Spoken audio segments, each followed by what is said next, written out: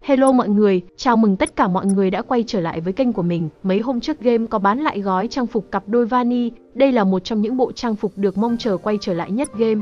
Gói này hồi trước có bán rồi mà mình chưa mua. Giờ mình mua review cho mọi người xem nha. Gói cặp đôi vani đang được bán với giá 129k này mọi người. Gói cặp đôi vani bao gồm hai gói trang phục, một gói vani girl dành cho các bạn nữ và một gói vani boy dành cho các bạn nam. Hai gói đều bao gồm 5 món trang phục và đều bán với giá 129k. Mình phân vân không biết nên mua gói nào.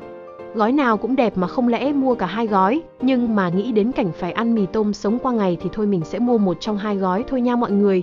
Bộ Vanigan này mình thấy khá là xinh gái, có khuôn mặt và tóc đẹp ha mọi người. Vì bộ Vanigan này xinh nên mình sẽ mua bộ Vani Boy review cho mọi người xem. Vani Boy vừa đẹp trai, vừa lạnh lùng boy như này phải gọi là mờ êm mê luôn á mọi người.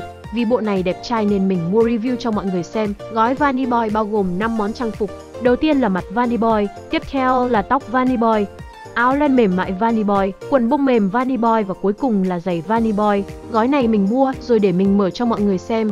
Mình mua qua Ralopay với giá 96.500 đồng và được tặng thêm 20 kim cương đó mọi người.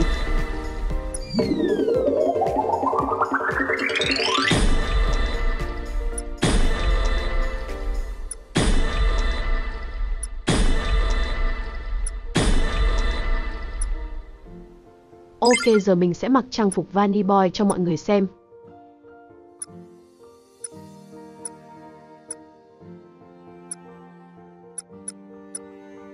Theo mình thấy thì trang phục Vanny Boy này đẹp đó, mọi người cụ thể là rất đẹp trai. Vừa đẹp trai mà còn lạnh lùng boy với cute nữa chứ. 10 điểm không có nhưng nha mọi người, mọi người thấy trang phục Vanny Boy này như thế nào bình luận cho mình biết nha. Hiện tại thì mình đang 14,29k điểm tiệc trò chơi rồi nè mọi người. Top 32 một cách mình khá là nhiều điểm nên chắc mình phải cày hơi lâu đó mọi người. Mình đọc, bình luận thấy mọi người cổ vũ mình lên top 3 quá trời nên mình sẽ cố gắng cày điểm. Bạn nào chưa đăng ký kênh thì cho mình một đăng ký để mình có động lực cày điểm tiếp nha.